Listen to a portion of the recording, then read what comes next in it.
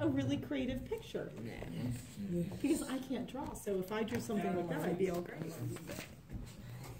Make a water tornado.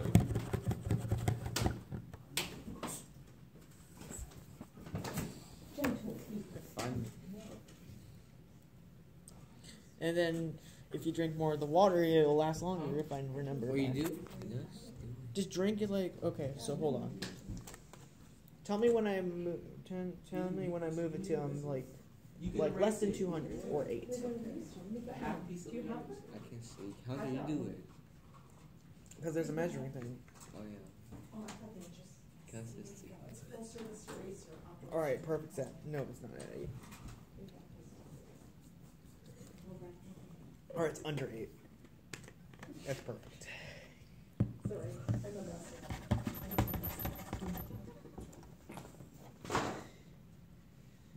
And it will last longer or something. It should, How you know? because more water will get in it,